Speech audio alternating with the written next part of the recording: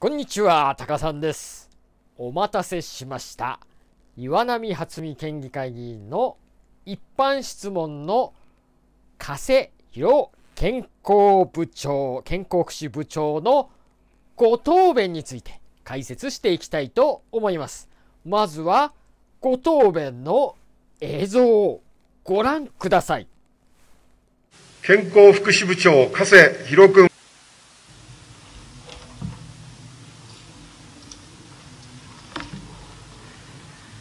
私からは、児童相談所と子どもの権利擁護等についての3問につきましてお答えをいたします。まずはじめに、社会福祉審議会における検証に関するご質問ですが時代、児童虐待防止法では、国及び地方公共団体は、虐待を受けた児童がその心身に著しく重大な被害を受けた事例の分析を行うとともに、児童虐待防止のために必要な事項について、調査研究や検証を行う責務があることが規定されております。また国の数字では、検証を行う範囲について、死亡に至らない場合であっても、適切に対応されなければ死亡していた可能性が高いと思われる事例などは対象とすることが望ましいとされております。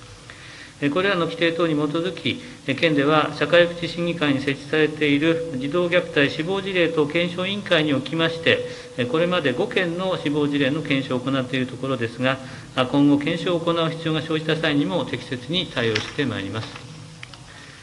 次に、重大事例の検証に関する手続きについてのご質問です。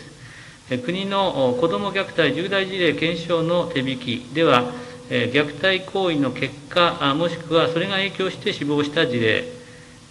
死亡は免れたが身体的に危機的な状況に陥った事例、長期間にわたる性的虐待など、生命の危機的な状況にはないものの、子どもが受けた人権侵害が大きいと思われる事例などを、検証が必要な重大事例としているところでございます。検証対象となる事例の把握のためには、重大、虐待重大事例が発生した際に、迅速に児童相談所へ通告が行われる必要があることから、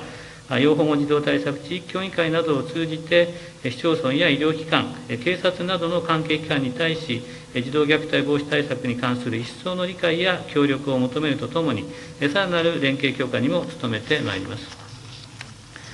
最後に、面会制限に関する認識と対応策についてのご質問ですが、厚生労働省の一時保護ガイドラインでは、子どもの安全確保と権利制限については、常に子どもの利益に配慮して、バランスを保ちつつ判断を行うとされております。これに基づき、児童相談所が面会を制限する際には、家族に対する援助方針などを策定する判定会議におきまして、一時保護の目的が達成できる範囲で必要最小限となるよう慎重に検討した上で判断をしております。家族と面会させるべきかどうかは、子どもの安心と安全を前提に、子どもの意思や気持ちを踏まえ、総合的に判断をしているところであり、児童相談所が面会の制限を行う場合には、子どもや保護者に対し、その理由をしっかりと説明するよう努めているところでございます。以上でございます。はい、ご覧いただけましたでしょうか？ひどいでしょ？はい、もう一回質問の、はい、趣旨を再確認させていただきます。はい。えー、千葉県の児童相談所によって、まあ、悪質な改ざんや虚偽のこの児童虐待の事例が相次いでいると。まあ、子供、保護者、そういった方々から、まあ、不満が多数出てますよと。これは重大事例とすべきだから、えー、この社会福祉審議会にかけてくださいと。そして当事者関係者が県に伝えるようなこの手続き制度そういったものについてということで質問が出たんですけども加瀬広健康福祉部長はこのこの社会福祉審議会の基本の説明を行いました。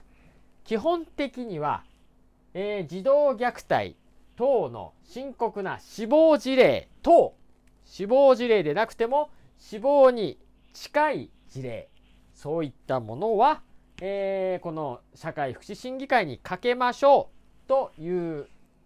内容ですけども、まあ、他にもこういった内こういった審議会は頻繁に開いて、えー、児童相談所に、まあ、助言を与える。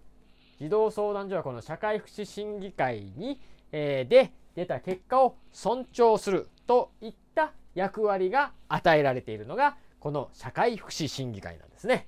はい、そういったものの一方的な、まあ、死亡事例に使うんだと5件も死亡事例を千葉県で出しているんだという自慢で、え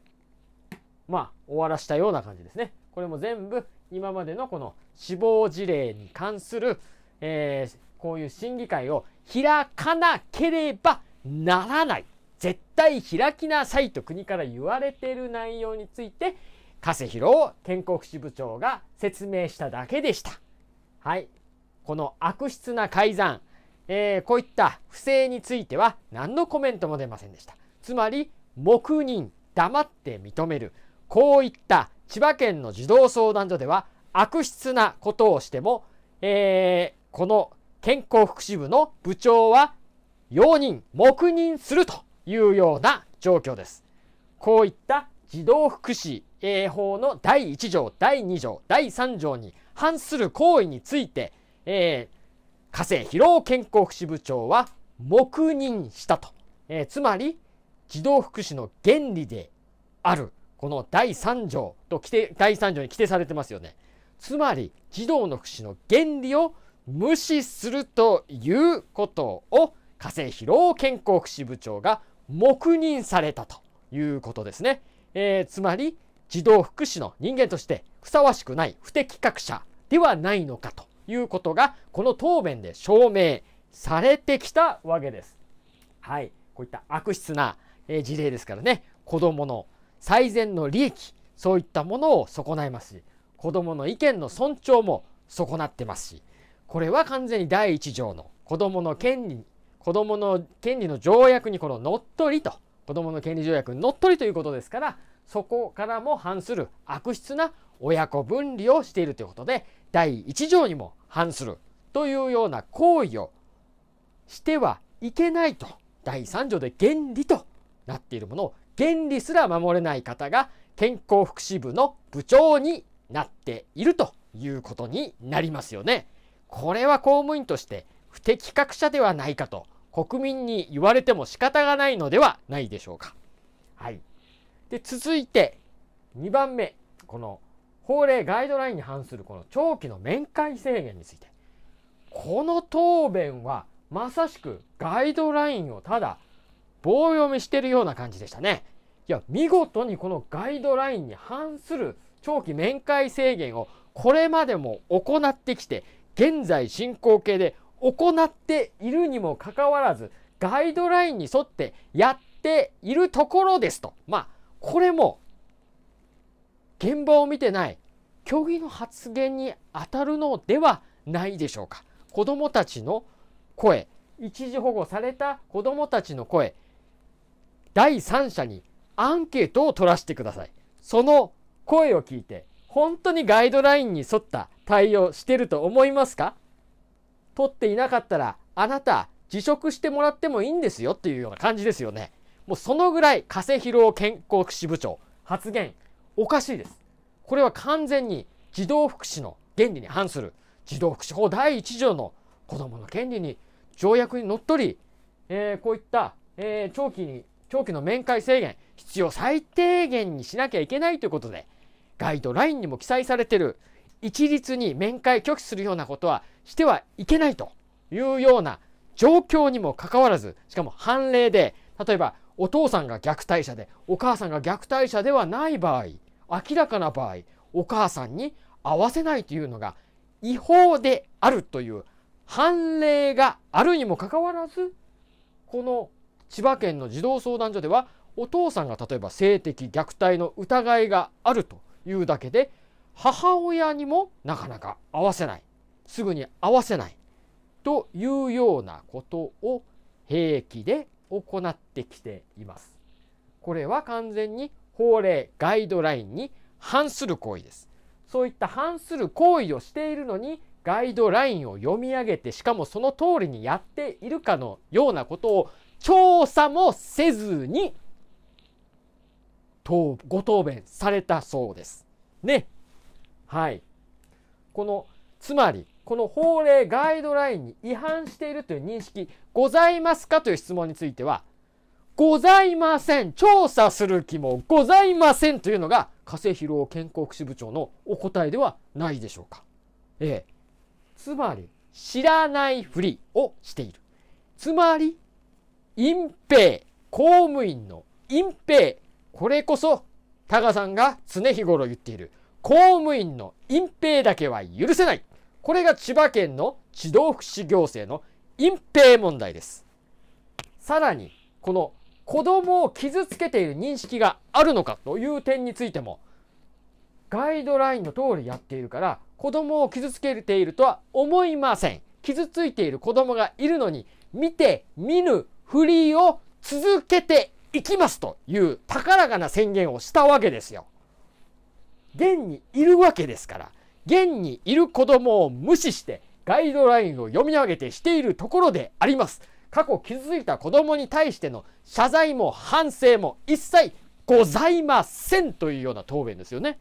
そういうことなんですよ。この、でそれに対しての県の対応策、当然ありません。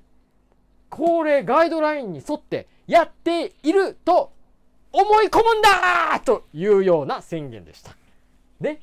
ひどいでしょ？これが千葉県のやっているふりの健康福祉部部長の答弁です。やっているんだ。俺は下のやっていない人のものを、ことを見ないんだ。知らないんだ。管理職として管理してるつもりだから、下の人間がどんなひどいことをしてても知らないんだという宣言にしか見えない。これはひどいんじゃないでしょうか。なぜ子供たちの意見を聞かないんでしょうか？子供の意見の尊重は児童福祉法の第一条の子供の権利条約にも当然記載されている内容であり、しかも第2条でもその発達度合いに応じた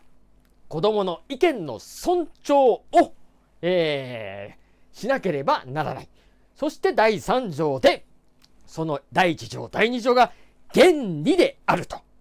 記載されている通り、それを見て見ぬふりをする人間は、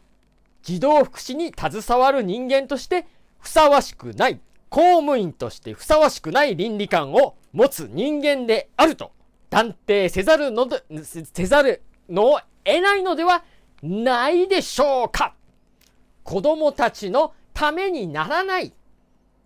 そういう倫理観を持つ公務員がはびこっているのではないでしょうか。特に管理職に。定年間際の管理職に高い給料をもらって、税金からボーナス退職金をたんまりもらって、退職した後も天下りというような公務員がこういったことをしていていいんですかね皆さん、国民の皆さん、こういったことを許していいんでしょうかね？あなたの税金がこんな使い道をされていいんですかね？ほっといていいんですかね？ますます県民の信頼を得た。もっと税金を俺のために使うぞと言わんばかりではないでしょうか、これでは。こういったことを防ぐために、タカさんは、行政改革、日本の改革、この国の未来を作るために活動していきたいと思います。正しいことは正しい。間違っていることは間違っている。正義のために、それがタカさんの願いでもあり、ポリシーであります。こういった、えー、質問に対してのひどい対応。どう思います？この、今回の答弁。この後も続きますよ。これに対しての、えー、再質問が次、岩波初美議員からございますので、その解説はまた次回ということになります。それでは、親子断絶をぶっ壊す